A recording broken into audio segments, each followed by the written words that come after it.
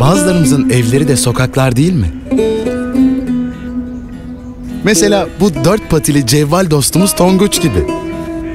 Ya da Minnoş Safiye. Metro insanlarını seyretmeye bayılan Hayati'yi atlamayalım. Peki istediklerinde uğrayacakları, güvende ve sıcak hissedebilecekleri, kendilerine ait bir evleri olsaydı nasıl olurdu? Hem de ne güzel olurdu. Tekzen sunar. Pati dostu evler. Tekzen 4 Nisan Sokak Hayvanları Günü'nde sokakları patili dostları için sıcak ve renkli yuvalara dönüştürüyor. Dostlarımızın sokaktaki yaşamlarını daha mutlu ve sağlıklı kılacak. Yaşadıkları şehri de güzelleştirecek. Pati dostu evler karşınızda. Akşam koşarak dönmek isteyecekleri bu evlerle sokaklar renkleniyor, patiler seviniyor. Pamuk, badem, lokum artık yeni evlerinde.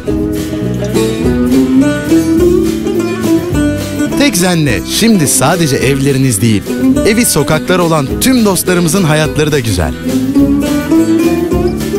4 Nisan Sokak Hayvanları Günü kutlu olsun.